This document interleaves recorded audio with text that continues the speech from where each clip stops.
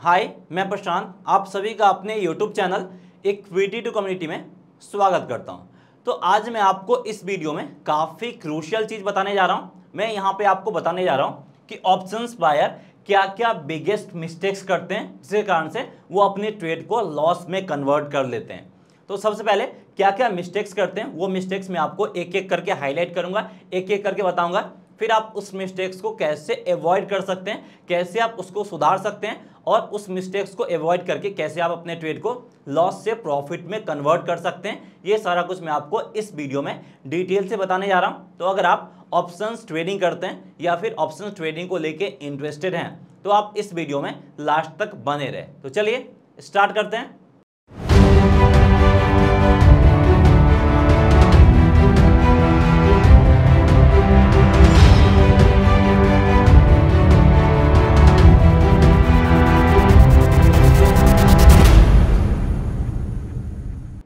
Options trader जो सबसे पहला और बिगेस्ट मिस्टेक करते हैं, उसमें से ये है कि वो ओ टी एम बाइंग करते हैं, यानी वो आपका out of the money options buying करते हैं। तो अगर आप अपना ट्रेड को कितना भी एक्यूरेट कर ले, कितना भी सिक्योर कर ले, लेकिन अगर आप ओ टी एम बाइंग करते हैं तो आपका ट्रेड का जो एक्यूरेसी लेवल होगा, वो 50 परसेंट से ज़्यादा नहीं हो सकता। इसी लेवल का आपका प्रॉफिट प्रोबेबिलिटी होगा। तो अगर आपको प्रॉफिट प्रोबेबिलिटी अपना इंक्रीज करना है तो ओटीएम बाइंग को अवॉइड करना होगा और ओटीएम बाइंग की जगह पे आपको in the money call options या फिर पुट ऑप्शंस को बाइंग करना होगा। चाहे आप कुछ भी बाई करें कॉल ऑप्शंस बाई करें या फिर यहाँ पे आप पुट ऑप्शंस बाई करें। हमेशा कोशिश क्या करना है कि आपको in the money call option he buying करना है। अगर बाई चांस कभी कभी आपको पैसे की कमी हो जा रहा है तो आप यहाँ पे एटीएम पे जा सकते हैं, लेकिन कभी कभी हमेशा नहीं। एटीएम से नीचे ओटीएम पे गलती से भी नहीं जाना है, अगर आपके पास इससे भी कम फंड है। तो आप ट्रेड मत करो, लेकिन आपको ओटीएम ऑप्शंस बाइंग गलती से भी नहीं करना है। अब ये हमें क्यों नहीं करना ओटीएम ऑप्शंस बाइंग चलिए इसको और डिटेल से समझते हैं। तो यहाँ पे अब हम ऑप्शन चेन पे आ गए, और यहाँ पे मैं आपको डिटेल से बताऊँगा कि क्यों आपको ओटीएम यानी out of money call options buying करना प्रेफर नहीं करना, और क्यों हमें in the money call options buying करना प्रेफर करना। थोड़ा यहाँ से आपको ध्यान से समझना होगा। तो अभी जो मार्केट ट्रेड कर रहा है आपका 17,550 के लेवल करीब ट्रेड कर रहा है। और हमें लग रहा है कि मार्केट आपका एक्सपायरी तक यानी ट्वेंटी फिफ्थ ऑफ़ अगस्त तक जो कि आपका मंथली एक्सपायरी अगस्त मंथ का सत्रह सात सौ या सत्रह सात सौ पचास के लेवल तक आ सकता है। तो यहाँ पे हम क्या करेंगे? सत्रह सात सौ के स्ट्राइक प्राइस का कॉल ऑप्शंस बाइंग करेंगे जो कि आपका ओ है out of money call options है। जिसका प्रीमियम अभी आपका लगभग फोर्टी रुपीज़ के करीब। तो यहाँ पे अगर प्राइस आपका ऊपर आया, और ये आपका सत्रह सात सौ चोरी सत्रह सात सौ पचास के लेवल पे जाके एक्सपायरी दिया तो यहाँ पे मुझे प्रॉफिट कितना मिलेगा? मार्केट आया है लगभग 200 पॉइंट मेरे फेवर में। जैसा हम सोच रहे थे मार्केट मेरे फेवर में 200 पॉइंट आया। लेकिन प्रॉफिट मुझे कितना मिलेगा? सिर्फ़ मुझे 8 पॉइंट का प्रॉफिट मिलेगा, क्योंकि सत्रह सात सौ के स्ट्राइक प्राइस का जो वैल्यू रहेगा फिफ्टी रुपीज़ रहेगा। और हमने यहाँ पे बाई कितने पे किया था? फोर्टी टू पे बाई किया था। तो टोटल मुझे सिर्फ़ एट पॉइंट का ही प्रॉफिट होगा। और जबकि मार्केट मेरे फेवर में 200 पॉइंट का मूवमेंट किया। तो यही नुकसान होता है। अगर हम O T M option buy करते हैं तो मेरा प्रॉफिट प्रोबेबिलिटी बहुत घट गया। अब इसी के जगह पे अगर हम in the money call option buying किए सपोर्टेड हमने सत्रह पाँच सौ के स्ट्राइक प्राइस का कॉल ऑप्शन बाइंग किया इसके जगह पे तो। इसका अभी स्ट्राइक प्राइस है लगभग आपका हंड्रेड रुपीज़ के करीब। और अगर मार्केट आपका यहीं पे आया, सत्रह सात सौ पचास के लेवल पे ही आया। यानी मार्केट यहाँ से लगभग आपका 200 पॉइंट का अपसाइड मूव दिखाया। तो इसका प्रीमियम कितना हो जाएगा? इसका जो रियल वैल्यू होगा, वो होगा लगभग आपका 250 के करीब। तो 250 फिफ्टी माइनस हंड्रेड कर दें। तो यहाँ पे मुझे 150 पॉइंट का मूवमेंट यहाँ पे हमें देखने को मिलेगा। यानी 150 पॉइंट का मोमेंटम यहाँ पे हमें क्लियर कट देखने को मिलेगा। 150 पॉइंट का प्रॉफिट मुझे देखने को मिलेगा। यहाँ पे मुझे एट पॉइंट का प्रॉफिट मिल रहा था सेम 200 पॉइंट के मोमेंटम पे। और यहाँ मुझे डेढ़ सौ पॉइंट का प्रॉफिट मिल रहा सेम 200 पॉइंट के मोमेंटम पे। हम सिर्फ़ क्या किए? Slightly in the money call options को यहाँ पे बाइंग किए। तो यही बेनिफिट होता है अगर आप in the money call options buying करो, या फिर आप out of money call options buying करो। तो इसीलिए हम क्या करते हैं? इसलिए हम प्रेफर करते हैं in the money call options को बाइंग करना, जहाँ पे हमें प्रॉफिट ज़्यादा मिलता है। अब हमें यहाँ पे पैसा ज़्यादा ज़रूर लगता है, लेकिन हमें प्रॉफिट भी देख सकते हैं, कितना ज़्यादा डिफरेंस हमें प्रॉफिट में देखने को मिल रहा है। तो अगर आपके पास सफिशियंट पैसा है तो इन द मनी में ट्रेड करो, पैसा नहीं है तो ट्रेड मत करो, क्योंकि यहाँ पे नुकसान होने के चांसेस कम है। अगर एनी हाउ मार्केट आपका सत्रह सात सौ पचास के लेवल से नीचे क्लोजिंग दे दिया तो यहाँ पे मुझे नुकसान उठाना पड़ेगा। लेकिन अगर यहाँ पे, अगर एनी हाउ मार्केट अगर आपका सत्रह छः सौ पचास के लेवल पे भी आ गया तो भी यहाँ पे हम थोड़ा बहुत प्रॉफिट में ही रहेंगे, नुकसान में नहीं रहेंगे। तो इसलिए आपको हमेशा in the money call options buying करना प्रेफर करना है और उम्मीद करते हैं कि आपको डिफरेंस समझ में आ गया कि क्यों मैं आपको in the money call options buying करना बोल रहा हूँ। सेकेंड बिगेस्ट मिस्टेक जो जनरली ऑप्शंस बाय करते हैं, वो क्या करते हैं? वो रेंज बॉन्ड मार्केट में भी ऑप्शंस बाइंग प्रेफर करते हैं। जबकि रेंज बॉन्ड मार्केट में हमें ऑप्शंस बाइंग एवॉइड करना होता है। क्योंकि जब मार्केट आपका रेंज बॉन्ड होता है, जो आपका टाइम वैल्यू होता है, जो टाइम डिके होता है ऑप्शंस प्रीमियम का जो डिके होता है, वो काफ़ी फास्ट होता है। तो यहाँ पे अगर आप कॉल ऑप्शंस बाई कर लो या पुट ऑप्शंस बाई कर लो, या दोनों एक साथ बाई कर लो, दोनों में यहाँ पे आपको लॉस उठाना पड़ेगा। इसलिए जब भी मार्केट आपका रेंज बाउंड हो, आप यहाँ पे ऑप्शंस बाइंग को अवॉइड करोगे। अब हम रेंज बाउंड मार्केट को कैसे आइडेंटिफाई करेंगे? चलिए इसको चार्ट पे चल के हम समझते हैं। तो यहाँ पे हम चार्ट पे आ गए और देख सकते हैं आपका निफ्टी का फाइव मिनट वाला चार्ट है।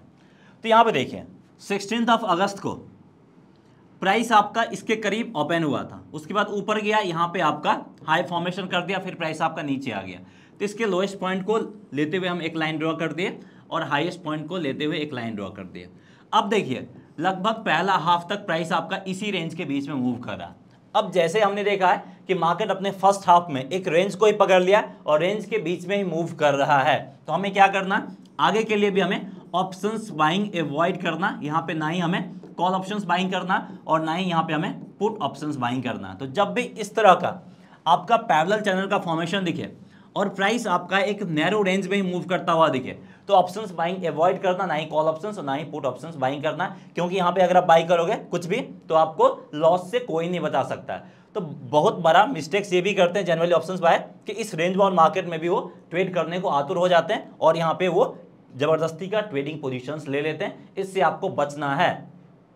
तीसरा मिस्टेक जो जनरली ऑप्शंस बाय करते हैं, जिसके कारण से उनको नुकसान उठाना पड़ता वो होता है कि वो ट्रेलिंग स्टॉप लॉस का इस्तेमाल नहीं करते हैं। आपको हमेशा ट्रेलिंग स्टॉप लॉस का इस्तेमाल करना पड़ेगा। इसका बेनिफिट क्या है? मैं हमेशा रेगुलर इसके बारे में वीडियो में बात करते रहता हूँ, यहाँ पे छोटा सा ओवरव्यू दे देता हूँ। सपोर्ट डेट आपने कोई भी स्टॉक्स को हंड्रेड रुपीज़ के प्राइस पे बाई किया। आपका यहाँ पे टारगेट प्राइस है टू हंड्रेड का, और यहाँ आपने आपने जो एसएल लगाया, वो सेवेंटी रुपीज़ करीब एसएल लगाया। अब प्राइस क्या हुआ? यहाँ से इंक्रीज हंड्रेड फिफ्टी पे आ गया। तो मेरा एस एल सेवेंटी पे है तो हम यहाँ पे एस एल सेवेंटी पे नहीं रखेंगे। एस एल को हम ट्वेल्व करके ऊपर साइड की तरफ़ लाएँगे। अब एस एल को हम कहाँ पे ले आएँगे? अब हमारा जो स्टॉप लॉस हो जाएगा वो हंड्रेड ट्वेंटी के करीब हो जाएगा। ये नहीं, अगर यहाँ से मार्केट वापस नीचे भी लौटता है तो मुझे यहाँ पे बीस पॉइंट का प्रॉफिट मिलेगा ही मिलेगा। यानी यहाँ पे हमने 20 पॉइंट के प्रॉफिट को सिक्योर कर लिया और जो हमें लॉस हो सकता था उस लॉस को यहाँ पे हमने लिटरली अवॉइड कर दिया। यानी अब यहाँ पे हमारा ट्रेड का एक्यूरेसी लेवल कितना हो जाएगा? 100 परसेंट एक्यूरेसी लेवल हो जाएगा। अब यहाँ पे हमें ज़्यादा कोई टेंशन नहीं लेना। अगर प्राइस यहाँ से आपका वापस से 180 चला गया तो हम क्या करेंगे? वापस से ट्रेलिंग स्टॉप लॉस को इंक्रीज करके 140 करीब ले आएँगे। और ऊपर गया तो टारगेट हिट करेगा। नीचे आया तो मेरा अब 40 पॉइंट का प्रॉफिट सिक्योर होगा। इसी तरीके से जैसे जैसे प्राइस आपका ऊपर जाएगा, ऐसे ही आप आप यहाँ पे अपने स्टॉप लॉस को इंक्रीज करते हुए चलेंगे। इसी को बोलते हैं ट्रेलिंग स्टॉप लॉस यानी स्टॉप लॉस को धीरे धीरे ट्रेल करते हुए ऊपर ले जाना सेल करते हैं तो उसी तरीके से आपको नीचे साइड की तरफ़ लाना है। और उसके बाद अगला जो मिस्टेक्स करते हैं जनरली वो क्या करते हैं? सारा पैसा एक ही सिंगल ट्रेड में लगा देते हैं। आपको ये काम नहीं करना। अगर आपके पास यहाँ पे टेन थाउज़ेंड रुपीज़ है और आप इससे ट्रेड कर रहे हैं और आप जैसे निफ्टी के स्ट्राइक प्राइस सत्रह पाँच सौ हम ले लेते हैं, इसका प्रीमियम है सौ रुपये करीब। तो पूरा का पूरा पैसा से यहाँ पे बाइंग नहीं कर लेना। हमें क्या करना? हमें यहाँ पे सिर्फ़ फिफ्टी परसेंट अमाउंट यूज़ करना यानी हम यहाँ पे सिर्फ़ फाइव थाउज़ेंड यूज़ करेंगे और इस पैसा से जितना बाय हो सकता, वो हम बाय करेंगे। हम अपना फिफ्टी परसेंट फंड सेव करके रखेंगे। क्यों रखेंगे? क्योंकि यहाँ पे अगर मुझे नुकसान हुआ तो उस लॉस को रिकवर करने के लिए हमें वापस से फंड ऐड करने की ज़रूरत ना पड़े। जो हमारे पास फंड अवेलेबल है, उसी फंड से हम इसको रिकवर करने की कोशिश करेंगे। तो ये चीज़ आपको ध्यान रखना है कि आपको पूरा पैसा सिंगल ट्रेड में ही नहीं लगा देना।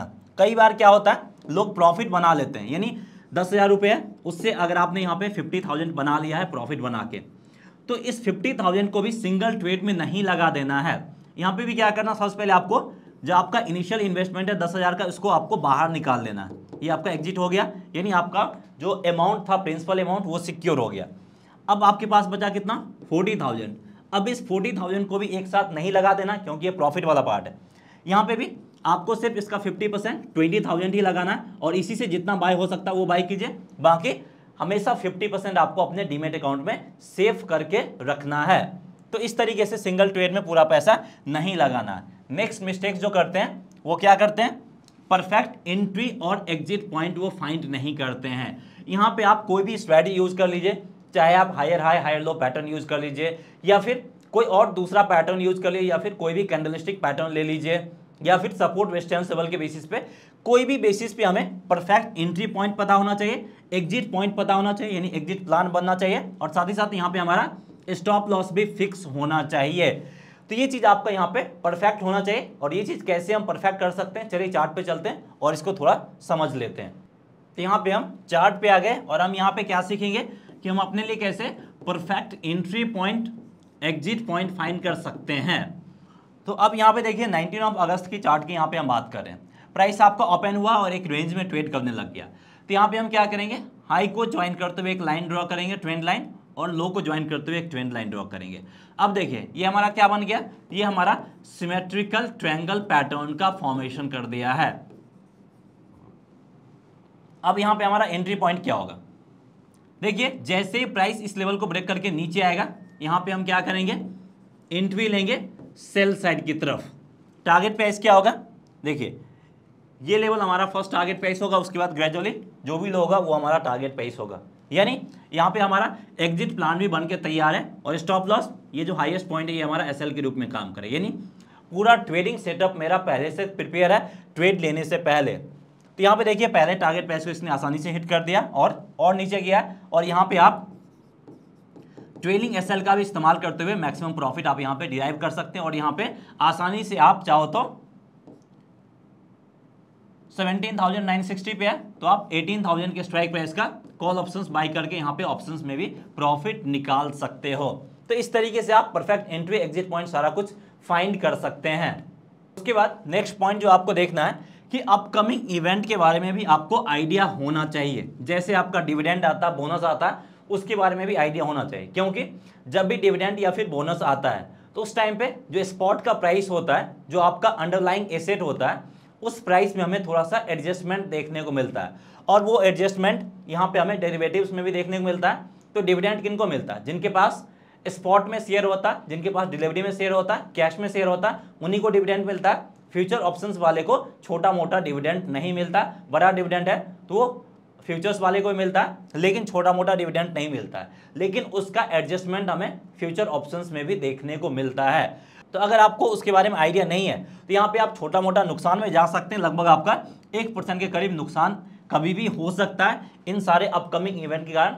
तो उसके बारे में भी आपको अपडेट रहना और जब भी उस तरह का इवेंट आएगा या जिस दिन भी एडजस्टमेंट होगा, उस दिन आप ट्रेड ना करें या फिर किसी पार्टिकुलर स्टॉक्स में ट्रेड नहीं करना जिस दिन हमें एडजस्टमेंट देखने को मिले। तो ये चीज़ भी आपको यहाँ पे ध्यान रखना। है और इसके अलावा एक और चीज़ ध्यान रखना है कि यहाँ पे आपको इलिक्विड स्टॉक्स में ट्रेड नहीं करना, वैसा स्टॉक्स को अवॉइड करना है जहाँ पे हमें इलिक्विडिटी ज़्यादा देखने को मिले। तो इलिक्विड स्टॉक्स को हम कैसे आइडेंटिफाई करेंगे? चलिए, ये भी मैं आपको बता देता हूँ। यहाँ पे वापस से ऑप्शन चेन पे आ गए और ये देख सकते हैं हनी ऑटोमेशन का आपका ऑप्शन चेन है।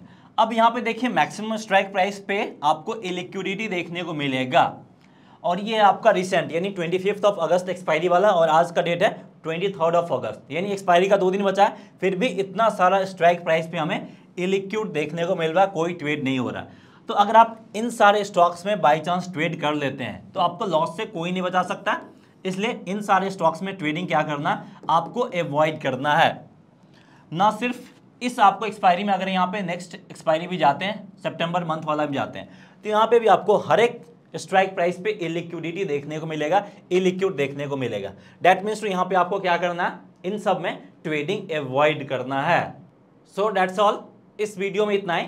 मैंने यहाँ पे आपको सारा पॉइंट बता दिया, जो कि जनरली ऑप्शंस बायर गलती करते हैं और इन सारे गलती से आप कैसे सीख सकते हैं, कैसे ओवरकम कर सकते हैं और इन सारे गलती के कारण जो नुकसान होता है, उस नुकसान को एवॉइड करके आप प्रॉफिट में कैसे कन्वर्ट कर सकते हैं, उसके बारे में मैंने आपको यहाँ पे डिटेल से बता दिया। उम्मीद करते हैं कि ये वीडियो आपको पसंद आया होगा। अगर आपको ये वीडियो पसंद आया प्लीज़ इस वीडियो को लाइक करके हमें इनकरेज कीजिए। चैनल को सब्सक्राइब नहीं किया चैनल को सब्सक्राइब ज़रूर कर लीजिए और साथ ही साथ बेल आइकन ज़रूर दबा दीजिए ताकि जब भी हम नया वीडियो लेके आए, उसका नोटिफिकेशन आप तक पहुँच जाए और आप वीडियो को मिस ना करें। सो डैट्स ऑल फ्रेंड्स मिलते हैं नेक्स्ट वीडियो में।